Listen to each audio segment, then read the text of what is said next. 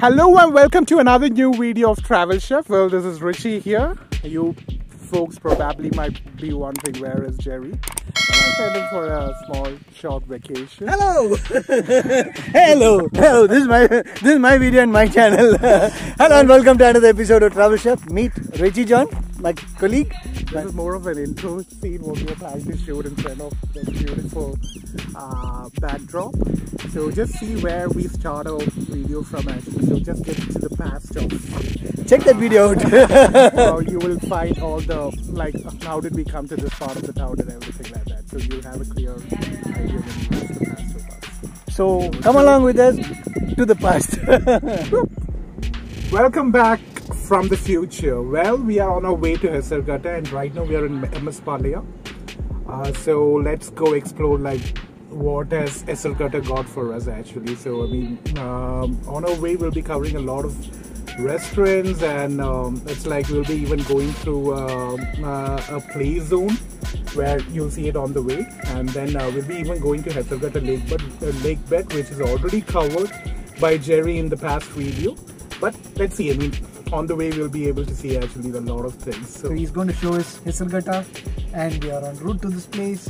And actually, actually, this place is a lovely place. I could say, lovely weather, lovely place.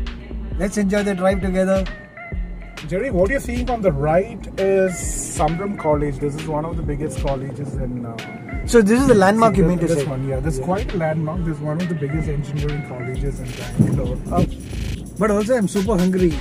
Actually, we, we are like we, we wanted to get to this place and uh, uh, the food it seems is pretty good over here. Uh, that's what I heard. But uh, how how's it? Did did you experience There are a lot of dhabas around I mean, why is it called dhaba? Is mainly because it's more of a uh, restaurant, like kind of a restaurant pub, where you'll be able to sit outside. And it's more of an outdoor setup. So for our viewers who do not know what's a dhaba, it's Little the hotel little hotels.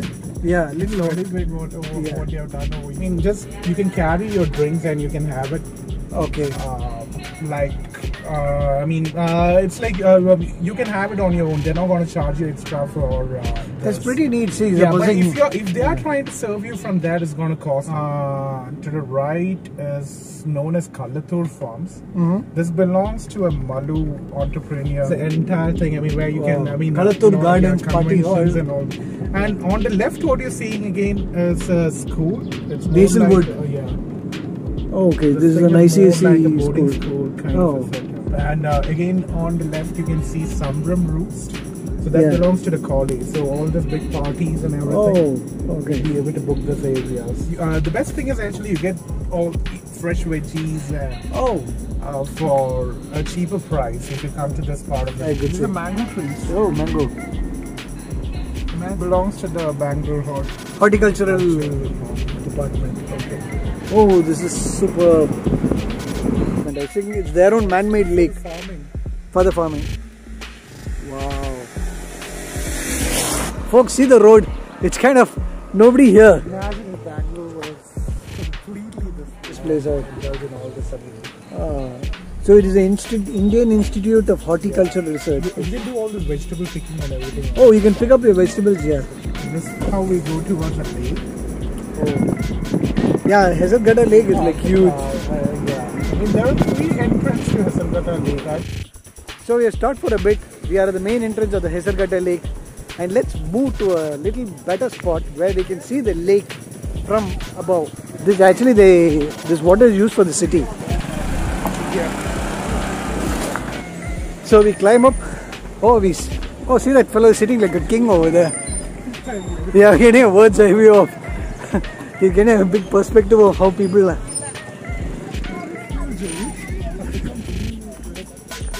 Wow, ladies and gentlemen, this is beauty.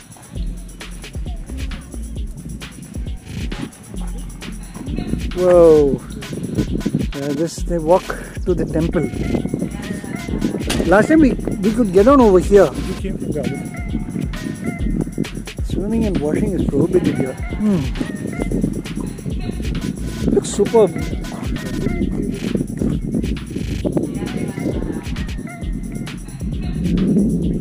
Parking slot. for the temple, I suppose. So where's the next place we are going? Let's see. I mean, if we'll be able to enter through the other part of the lake. That's more of the lake bed. You'll get closer to the lake bed. Here, Yeah, okay. you'll not be able. It's to all fenced up. You can't touch water. Yeah, I think because of the heavy rains in Karnataka over the last month, uh, lakes are filled to the brim. So, like last time, we could get down into the lake bed and walk. I guess that's a swamp. You can hear the birds chirp actually. Wow, there's a lovely eucalyptus farm.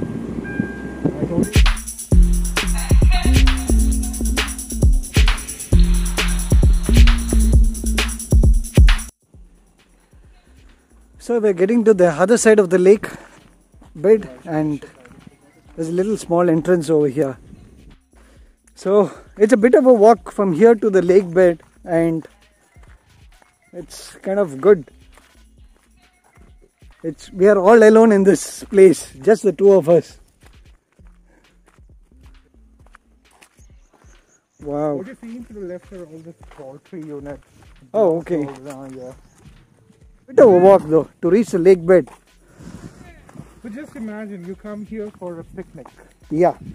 and uh, just I mean try camping you know, just for a day because I mean it's not like not safe for overnight. Yeah. Wow. Long since I heard a parrot screech. These are the touch me not plants.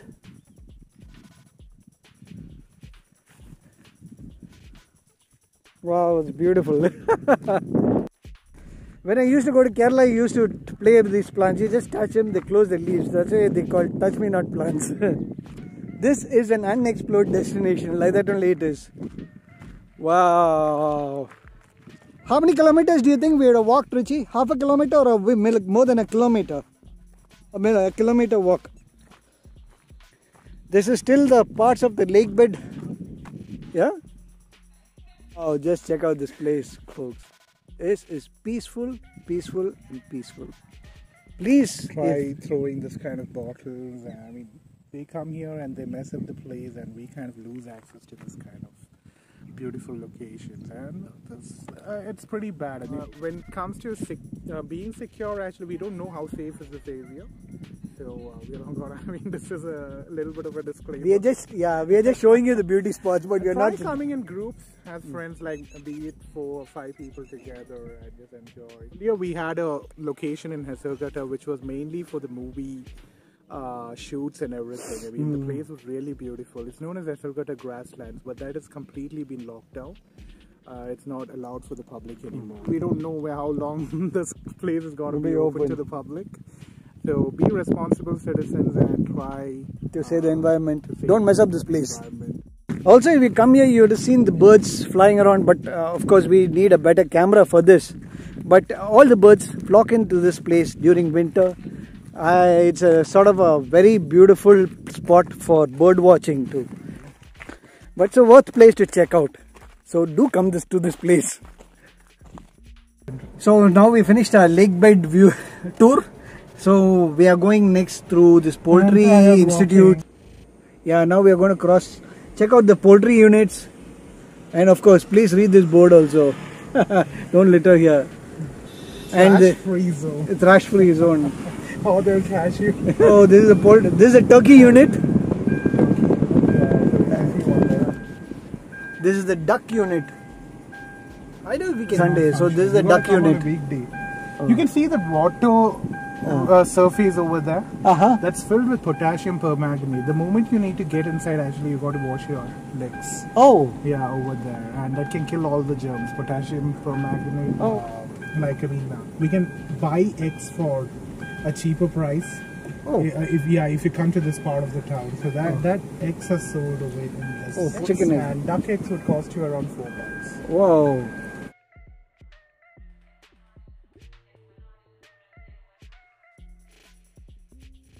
There's the film, Film Institute. Adarsha Film Oh, and TV Institute. So this is where most of the shooting We're standing right opposite Adarsha Film Institute. This place is famous for the shootings and the lovely grasslands there. Right opposite this film institute is private farms and they have grown a lot of Goa trees which looks really beautiful from the outside. Grasslands. Yes. That comes towards the right. Ah, Jerry, this is the grasslands. Oh, Can you see that they've written drinking, hunting, hunting uh, bike bike, and car wheeling is not not allowed. So Oh. that was earlier side, but now they're completely blocked in. They've Oh, just put this is a the no grasslands. entry. This is the grasslands. The moment you go inside a little deeper, Oh, you find one of the best places. See, you can see a resort on the left that this belongs to Taj. Taj Oh. Resort. oh, this. Yeah, so uh, it was open to the public like three years back or something, but now later I don't know what happened. It's shut for Yeah. operations until further notification. This year, this Oh. is a really good place actually for a stay. This is Nrityagram. That's more of a dance village, oh, mainly for the classical uh, dance and everything. oh, Um, and it's open from 10 a.m. to 2 p.m. I suppose. So, this is the tour of the grasslands as well as the Nrityagram, and this is Taj's properties. resort. Oh, this is also a farm stay. Yeah. Oh, Oh, oh, wow.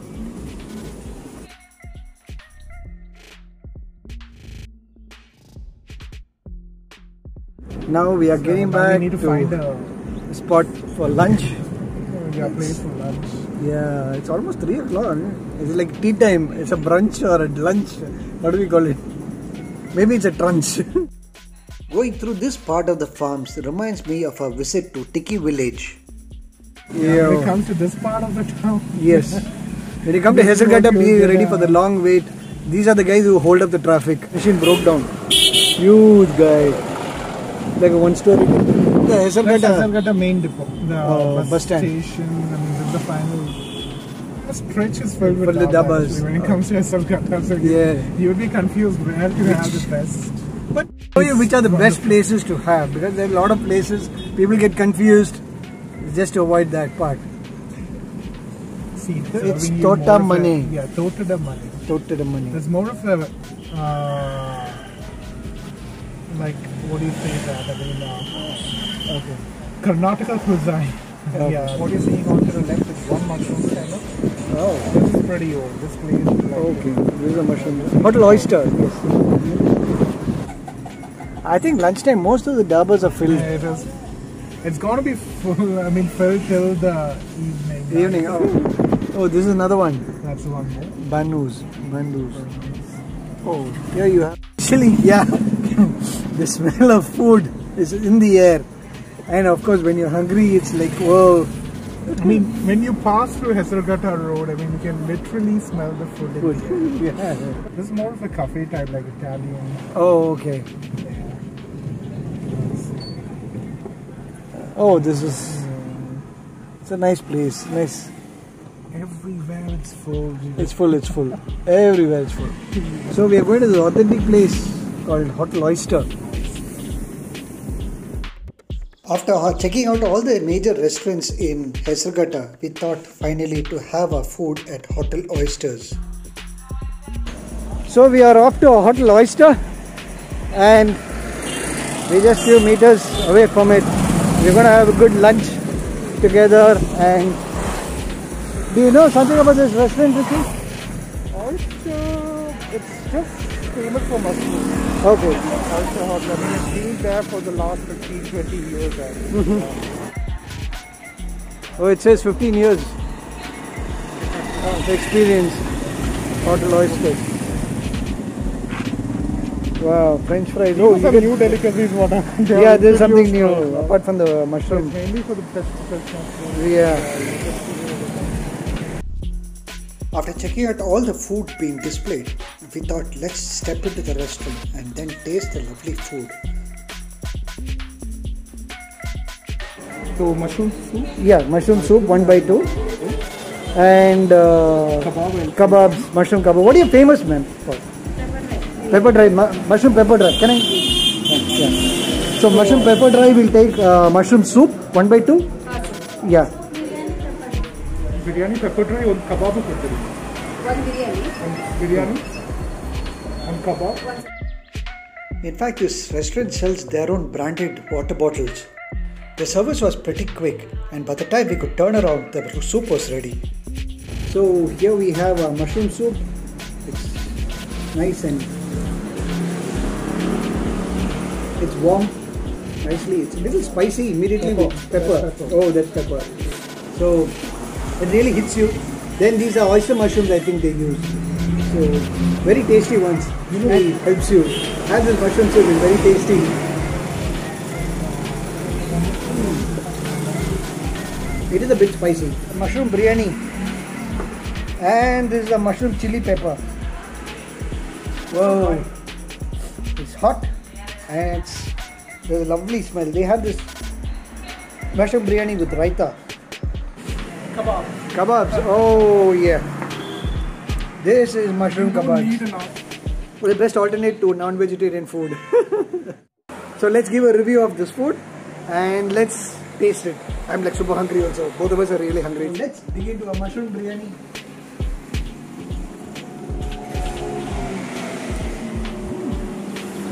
Hmm. Wow.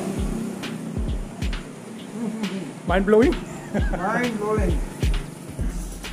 The flavors of masalas in the rice mixed with mushrooms. Wow, it's a bit spicy. You have a So you can relax with the curd. but this is really definitely a try.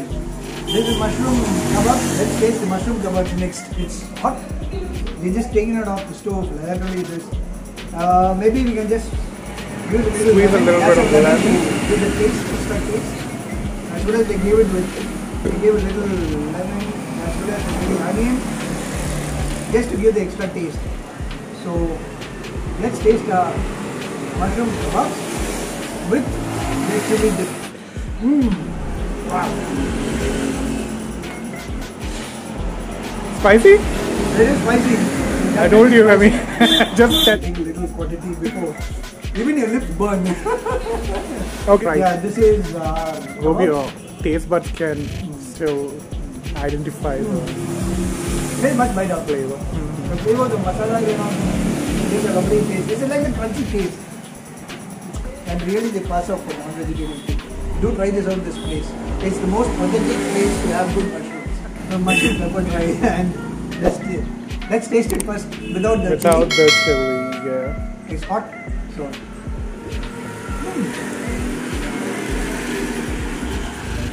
comes with the taste of salt. Salt and the crunchiness of the mushroom, plus the masalas, plus the garlic. It gives a very good taste. You try out these three, three dishes. It's tasty. Fried rice here which we have ordered, apart from the other dishes. So let's taste it. Let's taste the mushroom fried rice. They give it with little ketchup. Again some mushroom sambar or kurma Gravy. yeah, gravy, some gravy itself. so, little quantity. Let's taste it. How is it? This is made with pepper. That's something what I've not had till date. So, Made with pepper and uh, it's not spicy as uh, there's no mas- masalas they've used. Then this one along with this gravy. It gives a spice. It's not very spicy as this one. As the as the biryani stuff, it's uh, so this is kind of mild, very tasty, and there's not much of flavor, and there's no much much masalas, but it's very good. this I'm tasting for the first time. I mean, every time I've been here, it's like I only ordered the mushroom biryani, Uh, kebabs and pepper. There's something called chili, which is more spicier. spicier. Just because jerry is around. Even I'm not a person who prefers spice, Yeah. but still, there's something. Hmm, not bad. Not bad. It's more uh, more of a mild side. But I think it's a biryani. Biryani, which is uh, a little spicy. On a scale of 1 to 10, biryani I would rate at least around 8 to 9. This somewhere around 6 to 7. This one, That is pepper. 7 to 8. Seven to eight. Yeah. Yeah. And the even kebabs? That's also 7 to 8. I. Yeah. I prefer more biryani, so I give it around eight out of ten. This is around six out of ten. That is the fried rice. The kebabs around uh, nine. I could say it's very tasty. As well as the pepper also, ten out of ten. Oh my god. Uh, yeah, Nice. this is amazing. I liked it. Eating all this food, it came just to 495 rupees. Isn't it 500 rupees? So eating all this food was super filling. Enjoyed the lunch. Well, this is all the. This is a restaurant which people can sit in, dine in. For mushroom biryanis at 170. There's a combo meal which is 180 burgers. There's a lot of marketing on this of their menu. Okay, I'm also buying some mushrooms when I'm going. So yeah, I'm just going to buy some mushrooms and I'll pick up some mushrooms. It's around 200 rupees per kilo. Said, let's buy some mushrooms and head home then. I'll take some mushrooms. That uh, yeah, what are the different varieties of mushrooms you have over here? Sorry, ma'am. Button only, yeah? It's over, over, over. Okay, so it was a good time. So uh, I'm having a YouTube channel called Travel Chef, which we check out good uh, food and all that stuff. So I just wanted to do a review on this place. That's why. Thank you very much. So we completely enjoyed our lunch. Yeah, and this is the authentic Hotel Oyster. Should definitely wish to visit this place, and especially you should come here when you're super hungry. It's going to be tasty. So the staff was really helpful, really nice. But anyway, it's very, really definitely a visit place to come here. Really you have to come here. Oh my, I'm so Hello there. So we are back after a long drive from Hesaraghatta. We have also checked out two or three other restaurants apart from Hotel Oyster. Well, we hope you like this video on Hotel Oyster. Please visit this place. I'm sure this will not will be a value for your money. Also, there's a lovely place which is undiscovered too. For the last 15 years, they're doing their business, and the food that this dish out is super duper. So definitely, I recommend giving this place a try. Also, if you like our video, please share it with your friends. Please do comment on our video, as well as don't forget to subscribe to our channel. Well, until the next video, take care, stay safe, and see you soon. See you next week with another video on Hesaraghatta. Bye bye.